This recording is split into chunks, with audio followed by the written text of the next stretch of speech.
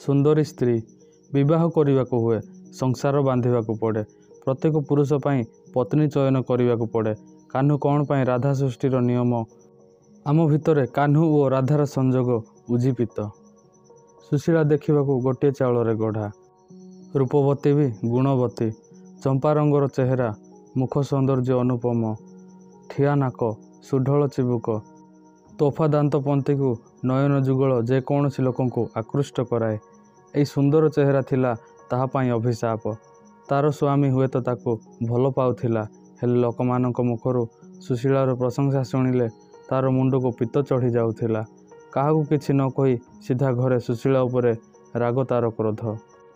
ମୁଣ୍ଡରେ ଲମ୍ବା ଓଢ଼ଣା ଦେଇ ରହିବାକୁ ତାଗିଦ କରୁଥିଲା। କାହ୍ନୁ ଥିଲା କଦାକାର କଳା ଦେହକୁ ଚେପ୍ଟା ନାକ ମୁଖ୍ୟ କଥା ଅତ୍ୟନ୍ତ ଅସୁନ୍ଦର।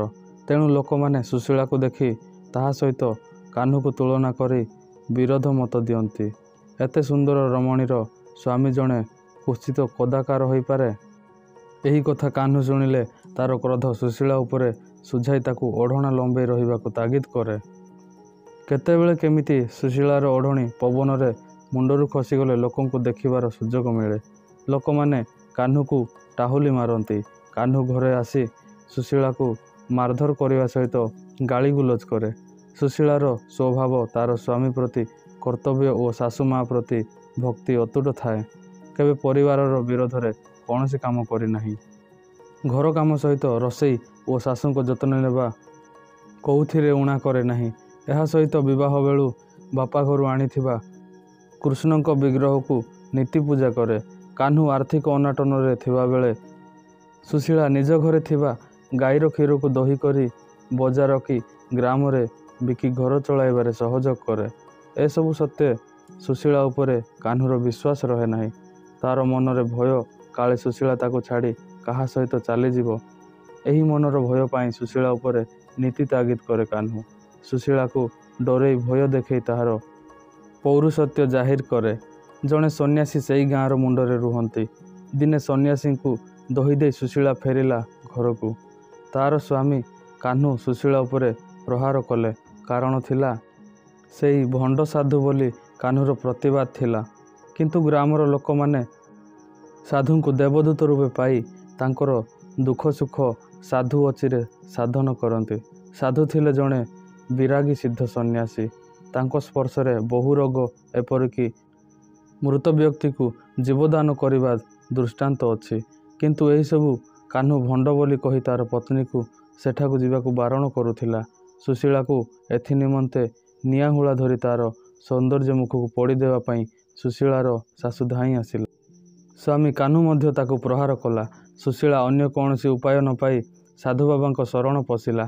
ଶାଶୁ ଅତ୍ୟନ୍ତ କ୍ରୋଧରେ ପକ୍ଷାଘାତରେ ପଡ଼ିଗଲେ। କାହ୍ନୁ ଗାଁରେ ନଥିଲା। ସୁଶୀଳା ଶାଶୁକୁ ଧରି ବାବାଙ୍କ ନିକଟକୁ ଆସି ଶାଶୁଙ୍କର ଆରୋଗ୍ୟ କାମନା କଲା। ଏହି ସମୟରେ କାହ୍ନୁ ମଧ୍ୟ ଏହିସବୁ ସେଇ ଭଣ୍ଡ ବାବାଙ୍କ ଗୁଣିଗାରେଡ଼ି ଖେଳ ବୋଲି ଭାବି ଭୁଜାଲି ଧରି ସାଧୁଙ୍କୁ ମାରିଦେବା ପାଇଁ ଧାଇଁ ଆସିଲା। ସାଧୁ ଗୋଟିଏ ଆରିସ ଧରିଥିଲେ। ସେହି ଅରିସର ପ୍ରତିବିମ୍ବରୁ କାହ୍ନୁ ଦେଖିଲା ଯେ ସେ ଜଣେ ରାକ୍ଷସ ପରି ଚେହେରାଧାରୀ ମଣିଷ ପରି ଦିଶୁଛି। ଏସବୁ ବାବାଙ୍କ ଭଣ୍ଡାମି ଭାବି ବାବାଙ୍କୁ ବିଭିନ୍ନ ଗାଳି ଗୁଲଜ କଲା। ବାବା ଶାନ୍ତ ମନରେ କହିଲେ ତୁମେ ଅଟକିଲ କାହିଁକି? ଯାହା ଚାହୁଁଛ ତାହା କରିପାର। ତୁମେ ପିଲାବେଳୁ ଏପରି ନିଷ୍ଠୁର ନଥିଲ। ବିବାହ ପରେ ସୁଶୀଳାକୁ ବିବାହ କରି ସୁଖରେ ଥିଲ। ଏବେ ତୁମ ମନର ଭୟ ସବୁ ତୁମକୁ କ୍ରୋଧ ରୂପରେ ପ୍ରକାଶ କରି ତୁମର ପତ୍ନୀ ଉପରେ ସୁଝାଉଛ ଫଳରେ ତୁମ ପ୍ରତିବିମ୍ବ ତୁମ ଭିତରେ ରାକ୍ଷସର ରୂପ ନେଇଛି। ବାହାର ଲୋକଙ୍କ ଠାରୁ ତୁମ ପତ୍ନୀଙ୍କର ସୁନାମ ଶୁଣି ତୁମେ ଖୁସି ହେବା ପରିବର୍ତ୍ତେ ହିଂସ୍ର ସାଜି ସ୍ତ୍ରୀ ଉପରେ ଅତ୍ୟାଚାର କରିଚାଲିଛ ତୁମର ପତ୍ନୀ ଶ୍ରୀକୃଷ୍ଣଙ୍କୁ ପୂଜା କରି ତାଙ୍କ ଭିତରେ ତୁମକୁ ଦେଖନ୍ତି ଅଥଚ ତୁମେ କ୍ରୋଧରେ ସେହି ମୂର୍ତ୍ତିକୁ ଫୋପାଡ଼ି ଦେଲ। ଏହି ତୁମର ଦୁର୍ବଳତା ଯେ ତୁମେ ତୁମ ପତ୍ନୀ କାଳେ ଅନ୍ୟ କେଉଁ ବ୍ୟକ୍ତି ସହିତ ସମ୍ପର୍କ ରଖିବେ। ତେଣୁ ତାକୁ ନିଜ ପୁରୁଷ ପଣିଆ ଜାହିର କରି ତାର ସରଳତାର ସୁଯୋଗ ନେଲ। ତୁମ ମା ମଧ୍ୟ ତୁମକୁ ଆକଟ କରିବା ପରିବର୍ତ୍ତେ ତୁମକୁ ସହଯୋଗ କଲେ। ଏପରି ଗୁଣବତୀ ବୋହୂ ଉପରେ ଅନ୍ୟାୟରେ ଅତ୍ୟାଚାର କଲେ। ତୁମ ମାଆଙ୍କ ରୋଗ ମୁକ୍ତ ନିମିତ୍ତ ସୁଶୀଳା ମଧ୍ୟ କାନ୍ଦି କାନ୍ଦି ଜଣାଉଛି। ଶାଶୁ ସାଧୁଙ୍କ କଥା ସବୁ ଶୁଣି ଆସ୍ତେ ଆସ୍ତେ କଥା କହିପାରିଲା ନିଜର ନିଷ୍ଠୁର ବ୍ୟବହାର ପାଇଁ ସୁଶୀଳାକୁ କ୍ଷମା ମାଗିଲା ସାଧୁ ବାବାଙ୍କ ଆଶୀର୍ବାଦ ପାଇ ସମ୍ପୂର୍ଣ୍ଣ ଆରୋଗ୍ୟ ଲାଭ କଲେ ନିଜ ପୁତ୍ରକୁ ସୁଶୀଳାର ସୁଶୀଳ ସ୍ୱଭାବ ବିଷୟରେ ପ୍ରଶଂସା କଲେ। ନିଜର ଭ୍ରମ ବିଚାର ତଥା ପୁତ୍ର ପ୍ରତି ଅହେତୁକ ଶ୍ରଦ୍ଧା ରଖି ତାର ପତ୍ନୀକୁ ପୋଡ଼ିଦେବା ପରି ପଦକ୍ଷେପ ପାଇଁ ନିଜକୁ ଘୃଣିତ ବୋଲି କ୍ଷମା ସୁଶୀଳାଠାରୁ ଚାହିଁଲେ।